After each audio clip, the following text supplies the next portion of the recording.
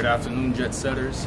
We're here in South Philadelphia. We're about to check out the Magic Gardens.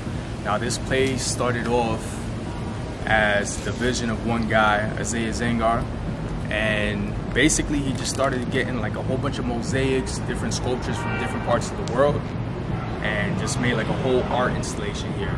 So if you want to check it out, come here to South Philadelphia and we'll check it out. Located at just a short two hour drive from New York City is the art installation known as the Philadelphia Magic Gardens. It is located on South Street in the city of Philadelphia, PA.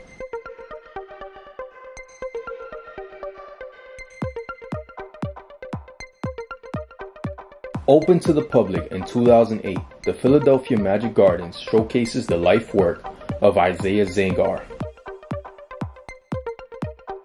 This art installation includes an indoor gallery, but the outdoor mosaic labyrinth steals the show for most visitors and photography enthusiasts. The attention to detail and the amount of labor needed to cover every inch of the space in tiles, glass, and other recycled items is mind-blowing. This attention to detail is not only exclusive to the outdoor areas and the indoor galleries, but it also extends into the restrooms. So yes, even the restrooms are works of art. this attraction is open during COVID. Some of the precautions that are being taken are the mandatory use of masks, social distancing, and operating with limited capacity. Therefore, advance tickets are needed. Each adult ticket is $15, children under 12 are $8, and children under 5 are free.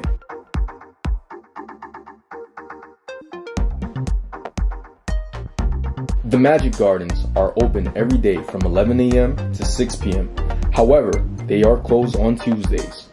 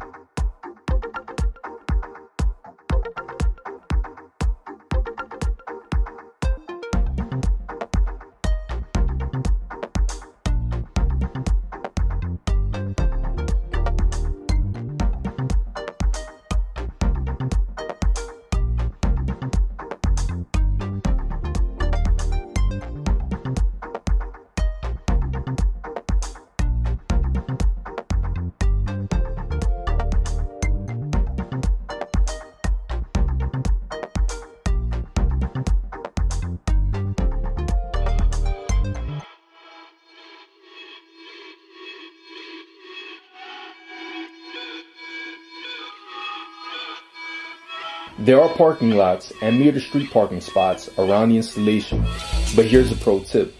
The Philadelphia Magic Gardens has partnered with Lyft to hand out a free ride credit when you use the promo code Magic Gardens when booking a ride to the attraction. And no, this is not a sponsored video. If you want to witness panoramic views of the city of brotherly love from 57 floors above, you need to check out the observation deck at One Liberty Place.